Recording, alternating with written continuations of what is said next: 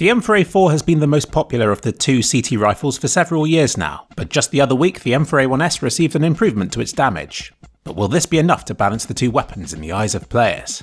There's only one way to find out. Or two if you played the game. Let's start with the story leading up to this point. It is possible to track the weapons being used from all of HLTV's match stats, which is the best indicator we've got of what the pros are using. For instance, here is how the AK-47 has been used since the start of CSGO. And to explain that dip in the usage, all we have to do is to turn on the SG553 data and why? It's almost like as one gets more popular, the other becomes less popular or something. So the timeline goes as follows. The SG553 had its price dropped in October of 2018. I'm not sure which of these dots represents October every year, so I'll just draw it approximately here. Players didn't seem to notice its awesomeness straight away, because it wasn't until mid 2019 that the SG started to gain popularity. But then its use boomed, and Valve was all like, oh no, and upped its price again in November of 2019. But this didn't deter its use for long, and it wasn't until it had its stats nerfed in April of 2020 that the AK became the firm favourite again. So while I'm still not sure which dots represent which months, I still like this data because it represents which weapons good CSGO players are using, and how quickly, or slowly, they react to changes in the balance and meta. So let's see what this dataset makes of the M4 battle.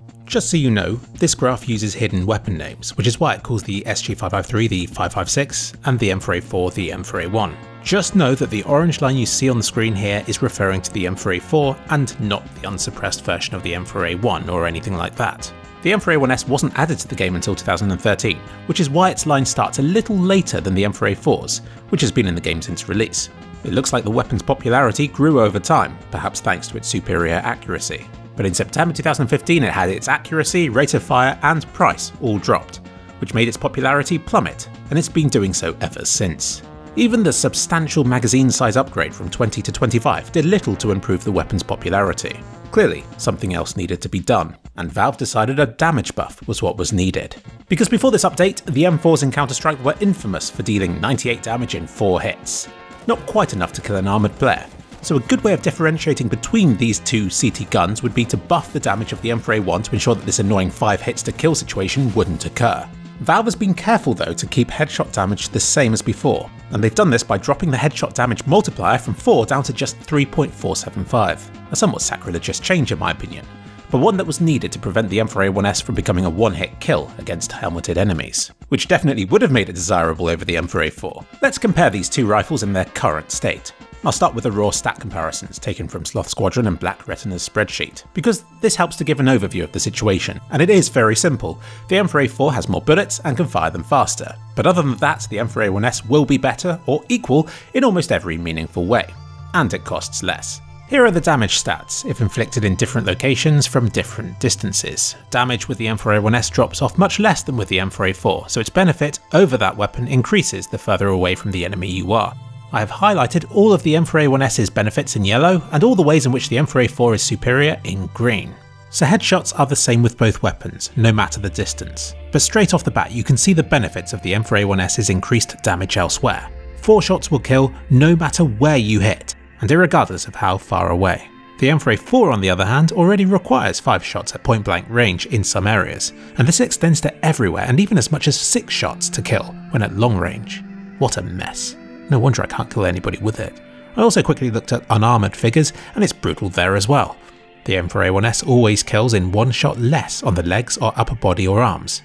But it isn't quite as clear cut as it seems. Yes, it might sometimes take one bullet less to kill players with the M4A1, but the M4A4 fires its bullets faster.